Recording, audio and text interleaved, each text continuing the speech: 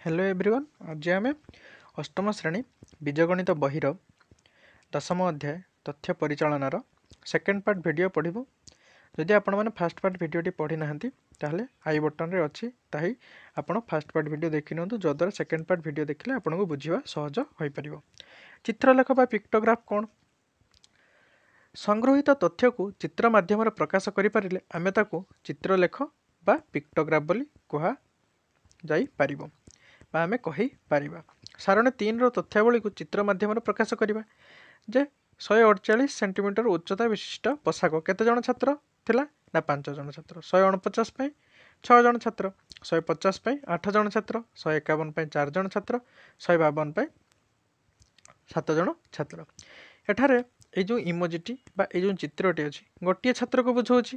ତ ସେଇଠୁ ଆମେ ଜାଣିପାରୁଛେ ଯେ ଶହେ ଅଡ଼ଚାଳିଶ ଜଣ କେତେ ଜଣ? ନା ପାଞ୍ଚ ଜଣଙ୍କ ପାଇଁ ଦରକାର। ଶହେ ଅଣଚାଶ କେତେ ଜଣଙ୍କ ପାଇଁ? ଛଅ ଜଣଙ୍କ ପାଇଁ ଦରକାର। ତ ଉକ୍ତ ଚିତ୍ରଲେଖକୁ ମଧ୍ୟ ନିମ୍ନ ପ୍ରକାରରେ ଉପସ୍ଥାପନ କରାଯାଇପାରେ। କ'ଣ? ନା ଯେଉଁଠି ବାଁ ପଟେ ଆମେ ଉଚ୍ଚତାକୁ ଲେଖୁଥିଲେ ସେଠି ଆମେ ତଳେ ଉଚ୍ଚତାକୁ ଲେଖିପାରିବା ଏବଂ ଛାତ୍ର ସଂଖ୍ୟାଟା ଉପରକୁ ଲେଖିପାରିବା। ତ ଏହିପରି ଭାବରେ ଉପସ୍ଥାପନ କରିପାରିବା। ଅନ୍ୟ ଗୋଟିଏ ପରିସ୍ଥିତିକୁ ଆଲୋଚନା ପରିସରକୁ ଆଣିବା। ଶ୍ରେଣୀ ଶିକ୍ଷକ ଶହେ ପନ୍ଦର ଜଣ ପିଲାଙ୍କର କେତେକ ଫଳଗୁଡ଼ିକ ପ୍ରତି ସେମାନଙ୍କର ଆଗ୍ରହ ବିଷୟରେ ପଚାରିବାରୁ ନିମ୍ନ ପ୍ରକାରରେ ସେମାନଙ୍କର ସମ୍ମତି ପାଇଲେ ଏବଂ ସେଗୁଡ଼ିକୁ ଲିପିବଦ୍ଧ କଲେ। ଚାଲନ୍ତୁ ସାରଣୀ ଚାରିକୁ ଦେଖିବା। କଦଳୀ ଦଶ ଜଣଙ୍କୁ ପସନ୍ଦ ଆସୁଥିଲା। କମଳା ପଚିଶ ଜଣଙ୍କୁ। ଆମ୍ବ ପଇଁତିରିଶ ଜଣଙ୍କୁ। ସେହ ତିରିଶ ଜଣଙ୍କୁ। ଲିଚୁ ପନ୍ଦର ଜଣଙ୍କୁ।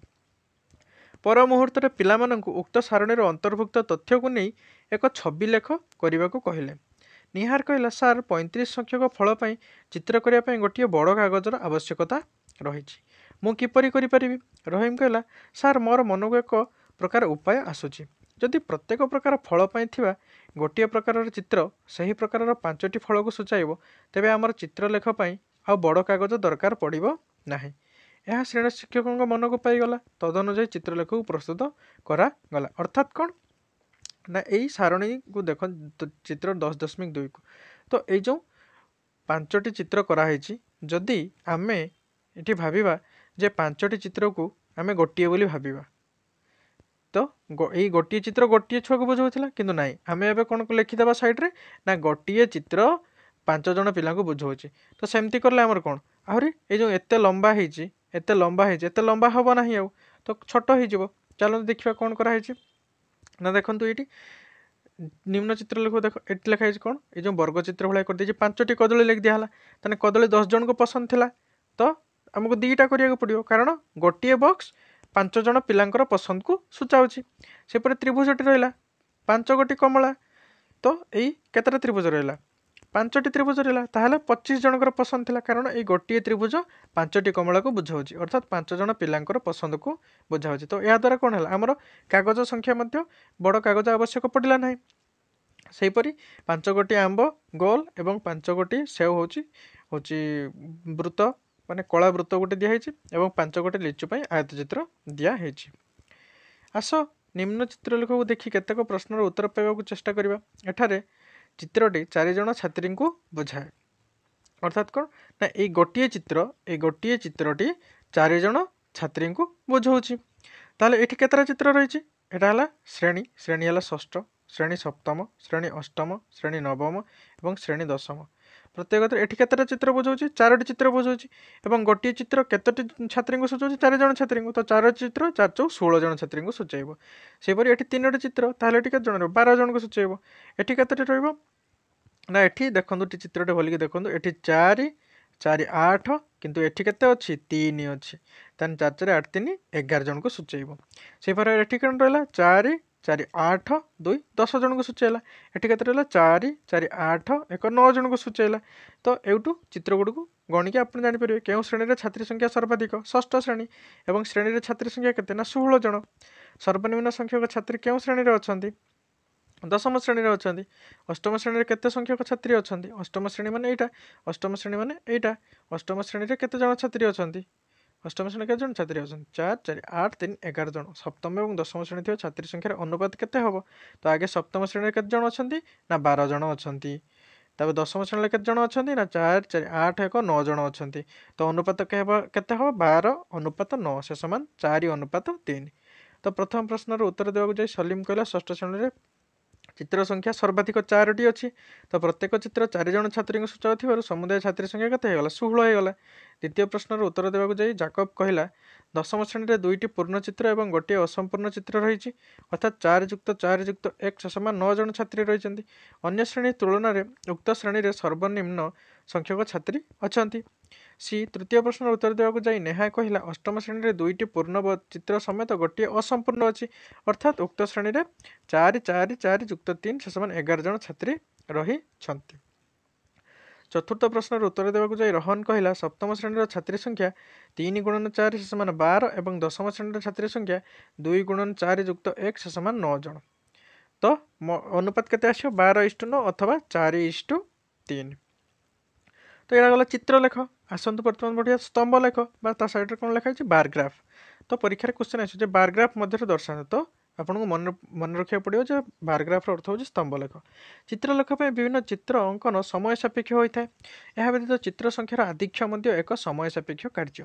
ଏଥିପାଇଁ ସ୍ତମ୍ଭ ଲେଖ ମାଧ୍ୟମରେ ତଥ୍ୟ ଉପସ୍ଥାପନା ତଥ୍ୟ ଅନୁଶୀଳନ ଏବଂ ତଥ୍ୟର ବ୍ୟାଖ୍ୟା ଆମ ପାଇଁ ସହଜ ହୋଇପାରିବ ସମ ଓସାର ପ୍ରସ୍ତ ଏବଂ ସ୍ତମ୍ଭ ସ୍ତମ୍ଭ ମଧ୍ୟରେ ବ୍ୟବଧାନ ସମାନ ଥାଏ ସ୍ତମ୍ଭ ଲେଖ ସାଧାରଣ ଭାବରେ ସଫଳ ତଥ୍ୟ ଉପସ୍ଥାପନ ପାଇଁ ଆମର ଦୃଷ୍ଟି ଆକର୍ଷଣ କରିଥାଏ। ସ୍ତମ୍ଭଲେଖ ଗୋଟିଏ ଗୋଟିଏ ସାଂଖ୍ୟିକ ତଥ୍ୟକୁ ଭିତ୍ତି କରି ଅଙ୍କିତ ହୋଇଥାଏ ଯାହାର ଉଚ୍ଚତା ତଥ୍ୟର ବାରମ୍ବାରତା ଉପରେ ନିର୍ଭର କରିଥାଏ। ସ୍ତମ୍ଭଲେଖକୁ ଆନୁଭୂମିକ ବା ଉଲ୍ଲମ୍ବ ଭାବରେ ଅଙ୍କନ କରାଯାଇପାରେ। ଏଇଠି ଗୋଟିଏ ବାକ୍ୟଟି କ'ଣ କହିଲା? ନା ସ୍ତମ୍ଭଲେଖର ଗୋଟିଏ ଗୋଟିଏ ସାଂଖ୍ୟିକ ତଥ୍ୟକୁ ଭିତ୍ତି କରି ଅଙ୍କିତ ହୋଇଥାଏ। ଯେଉଁ ସ୍ତମ୍ଭଲେଖ ସାଂଖ୍ୟିକ ତଥ୍ୟ ଭିତ୍ତିକରେ ଅଙ୍କିତ ହୋଇଥାଏ। ତ ଆଗରୁ ଆମେ ସେ ସାଂଖ୍ୟିକ ତଥ୍ୟକୁ କ'ଣ ଲବ୍ଧାଙ୍କ କହୁଥିଲେ? ଏବେ ସେଟା ଗୋଟେ ତଳେ ତାର ଲେଖାଯିବ କୌଣସି ଗୋଟେ ଲବ୍ଧାଙ୍କର ନାଁଟା ଲେଖାଯିବ। ଏବଂ ଯାହାର ଉଚ୍ଚତା ତଥ୍ୟର ବାରମ୍ବାରତା ଉପରେ ନିର୍ଭର କରିଥାଏ ଅର୍ଥାତ୍ ଲବ୍ଧାଙ୍କର ବାରମ୍ବାରତା ଯାହାର ଯେତେ ଅଧିକ ହେବ ତ ସେଠି ଏ ଯେଉଁ ସ୍ତମ୍ଭ ଲେଖଟି ହେବ ସେତେ ଉଞ୍ଚା ରହିବ। ଏଠି ଦେଖିପାରୁଥିବେ ଏଠି ଉଞ୍ଚା ଅଛି ଏଠି ଟିକେ କମ୍ ଅଛି ଏଠି ଟିକେ କମ୍। ତ ଏଇଟା ଆଗକୁ ତଳକୁ ଗଲେ ଆହୁରି ଭଲସେ ବୁଝିପାରିବା। ସ୍ତମ୍ଭଲେଖକୁ ଆନୁଭୂମିକ ବା ହରାଇଜଣ୍ଟାଲ ଉଲ୍ଲମ୍ବ ବା ଭର୍ଟିକାଲ ଭାବରେ ଅଙ୍କନ କରାଯାଇପାରେ। ବର୍ତ୍ତମାନ ଏକ ଉଦାହରଣ ଜରିଆରେ ସ୍ତମ୍ଭଲେଖ ଅଙ୍କନ ପ୍ରଣାଳୀକୁ ଶିଖିବା ପାଇଁ ଚେଷ୍ଟା କରିବା। ଉଦାହରଣ ଏକ ନିମ୍ନ ସାରଣୀ ଅନ୍ତର୍ଭୁକ୍ତ ତଥ୍ୟଗୁଡ଼ିକୁ ନେଇ ଏକ ସ୍ତମ୍ଭଲେଖ ଅଙ୍କନ କରିବା। କ'ଣ ରହିଲା? ନା ବିଭିନ୍ନ ପ୍ରକାର motor car Santro Alto Zen Fiat Skoda ଏସବୁ ରହିଲା କ'ଣ? ଏଗୁଡ଼ିକ ହେଲା ସାଂଖ୍ୟିକ ତଥ୍ୟ ରହିଲା କିମ୍ବା ଏଇଟା ଗୋଟେ ଆମେ ଲବ୍ଧାଙ୍କ ମଧ୍ୟ କହିପାରିବା। ମୋଟର କାର୍ ସଂଖ୍ୟା ସାଣ୍ଟ୍ରୋର କେତୋଟି? ଦଶଟି। ଅଲ୍ଟୋର କେତୋଟି ଆଠଟି ଜେନ୍ର ସାତଟି ଫିଆଟ୍ର ତିନିଟି ସ୍କଡ଼ାର ଚାରିଟି। ତ ଏଗୁଡ଼ିକ ତାକୁ ଆମେ ବାରମ୍ବାରତା ମଧ୍ୟ କହିପାରିବା। ତ ଆମର ଏଠି ରହିଲା ଏକ୍ସ ଆକ୍ସିସ୍ ସରି ଏଟା ୱାଇ ଆକ୍ସିସ୍ ଧରିବା ଏଟାକୁ ଏକ୍ସ ଆକ୍ସିସ୍ ଧରିବା। ତ ଏକ୍ସ ଆକ୍ସିସ୍ରେ କ'ଣ ରହିଲା ନା ଲବ୍ଧାଙ୍କ ଗୁଡ଼ିକ ରହିଲା Santro Alto Zen Fiat Skoda. Y ଆକ୍ସିସ୍ରେ କ'ଣ ରହିଲା ସେଗୁଡ଼ିକର ବାରମ୍ବାରତା କେତେ ରହିଲା? ସାଣ୍ଟ୍ର କେତେଟା? ନା ଦଶଟା ରହିଛି। ଅଲ୍ଟୋ କେତୋଟି? ଆଠଟି ରହିଛି। ଜେନ୍ କେତୋଟି? ସାତଟି ରହିଛି। ଫିଆଟ୍ କେତୋଟି? ତିନୋଟି ରହିଛି। ସ୍କଡ଼ା କେତୋଟି? ଚାରୋଟି ରହିଛି। ତେଣୁ ଏଠି ଆମକୁ ଦେଖିପାରୁଥିବା ଯେ ସାଣ୍ଟ୍ରର ବାରମ୍ବାରତା ଅଧିକ ରହିଛି ସେଥିପାଇଁ ଅଧିକ ଉଚ୍ଚ ବିଶିଷ୍ଟ ସ୍ତମ୍ଭଟି ଅଙ୍କନ ହୋଇଛି। ଫିଆଟ୍ର ବାରମ୍ବାରତା ସବୁଠାରୁ କମ୍ ଅଛି ତ ସେଥିପାଇଁ ହେଉଛି ଏହାର ହେଉଛି ସ୍ତମ୍ଭଟା ସବୁଠାରୁ କମ୍ ହୋଇଛି। ସ୍ତମ୍ଭଲେଖ ଉପାନ ଅଙ୍କନର ସୋପାନ ସମୂହକୁ ଅନୁସରଣ କରି ନିଜେ କରିବାକୁ ଚେଷ୍ଟା କର।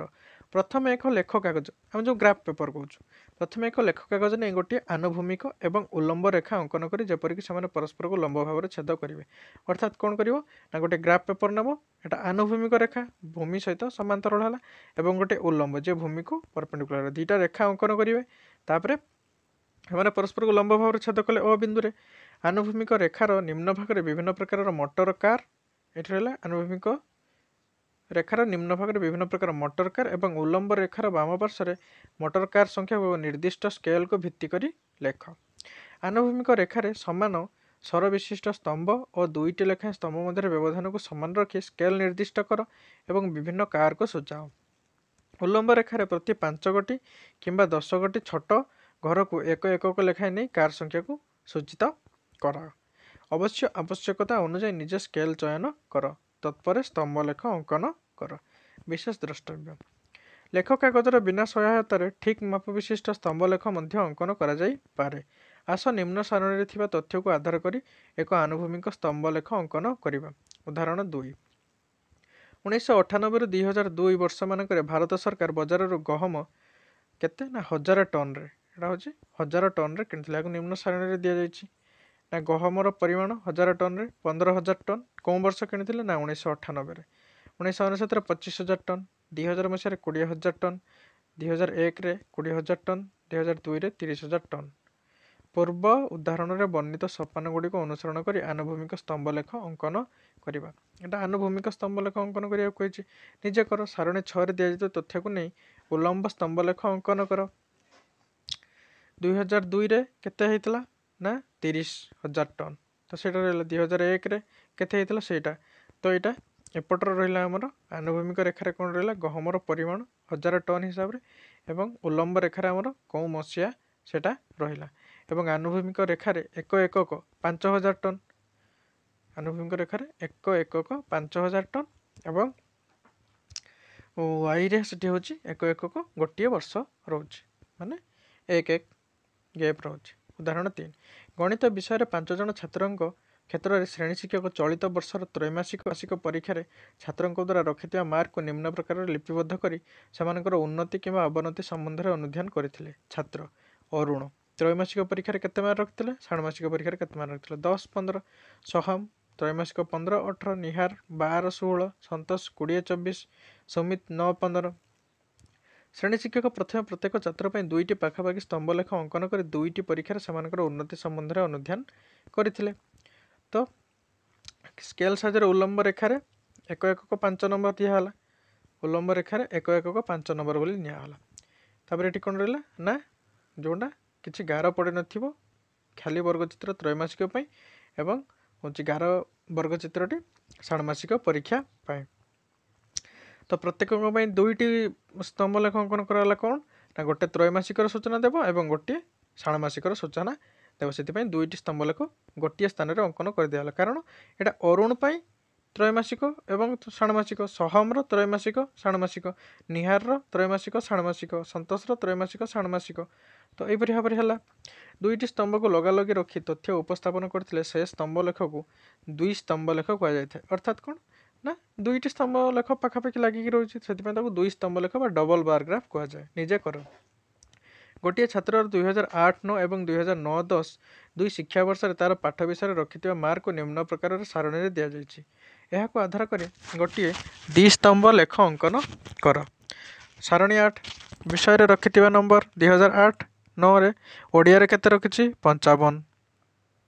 ଏବଂ ଗଣିତରେ ତିରିଶ ବିଜ୍ଞାନରେ ପଚାଶ ସାମାଜିକ ବିଜ୍ଞାନରେ ପଇଁତିରିଶ ଇଂରାଜୀରେ ପଚାଶ ଦୁଇହଜାର ନଅ ଦଶରେ ଚାଳିଶ ଷାଠିଏ ପଞ୍ଚାବନ ପଚାଶ ତିରିଶ ତ ଏମିତି ଅଙ୍କ ଅଙ୍କନ କରିଦେବେ ଏପଟେ ରହିଗଲା ତ ଏଠି ଗୋଟେ କରିଦେବେ ହେଉଛି ଦୁଇ ହଜାର ଆଠ ପାଇଁ ମନେକର ଦୁଇ ହଜାର ଆଠ ପାଇଁ ଆଉ ଏମିତି ଏମିତି ଗୋଟେ ଗ୍ରାଫ୍ କରିବେ ଯେଉଁଟାକି ଗାର ପଡ଼ିନଥିବ ଏବଂ ଦୁଇ ହଜାର ନଅ ଦଶ ପାଇଁ କ'ଣ ରହିବ ନା ଏମିତି ଗୋଟେ କରିବା ଯେଉଁଟାରେ ଗାର ପଡ଼ିଥିବ ଯେପରି ଭାବରେ ଷାଣ୍ମାସିକ ତ୍ରୈମାସିକ ନିଆଗଲା ସେହିପରି ଦୁଇ ହଜାର ଆଠ ଓ ଦୁଇ ହଜାର ନଅ ପାଇଁ ଗୋଟେ ପାଇଁ ଗାର ନିଆଯିବ ଏବଂ ଗୋଟିଏ ପାଇଁ ଗୋଟେ ଖୋଲା ରଖାଯିବ। ତ ଏହିପରି ଭାବରେ ଆପଣ ଗ୍ରାଫ ଅଙ୍କନ କରିପାରିବେ। ତ ଏମିତି ରହିଲା। ତାପରେ ଏ ତଳେ ଲେଖିଦେବେ ଓଡ଼ିଆ ଗଣିତ ବିଜ୍ଞାନ ସାମାଜିକ। ତ ପ୍ରତ୍ୟେକ ବିଷୟରେ ଯାହା ଯେତିକି ମାର୍କ ଥିବ ଏଠି ରହିଲା। ଧରନ୍ତୁ ଏକ ଏକକୁ ପାଞ୍ଚ ନମ୍ବର କି ଦଶ ନମ୍ବର ନିଆଗଲା। ଦଶ ନମ୍ବର ନେଇଯିବେ ଦଶ କୋଡ଼ିଏ ତିରିଶ ଚାଳିଶ ପଚାଶ ମାର୍କ ରହିଲା। ତ ସେହିପରି ଭାବରେ ଆପଣ ଅଙ୍କନ କରିପାରିବେ। ତ ଏହି ଭିଡ଼ିଓରେ ଆମେ ଏତିକି ପଢ଼ିବା ଏବଂ ନେକ୍ସଟ ଭିଡ଼ିଓରୁ ଆମେ ବୃତ୍ତ ଲେଖରୁ ଆରମ୍ଭ କରିବା। ଯଦି ଆପଣମାନେ ଭିଡ଼ିଓଟି ଦେଖୁଥାନ୍ତି ଭିଡ଼ିଓଟି ଭଲ ଲାଗିଲା ତାହେଲେ ଗୋଟେ ଲାଇକ୍ କରନ୍ତୁ କମେଣ୍ଟ କରନ୍ତୁ ସେୟାର କରନ୍ତୁ। ଯାହା ଡାଉଟ୍ ରହୁଛି କମେଣ୍ଟ ସେକ୍ସନରେ ପଚାରନ୍ତୁ କିମ୍ବା ଟେଲିଗ୍ରାମରେ ଆମର ଉତ୍କଳାୟିକ ଟେଲିଗ୍ରାମ ଲିଙ୍କ୍ ଅଛି ସେଥିରେ ଯାଇ ଜଏନ୍ କରି ନିଜର ଡାଉଟ୍ ପଚାରନ୍ତୁ। ଧନ୍ୟବାଦ।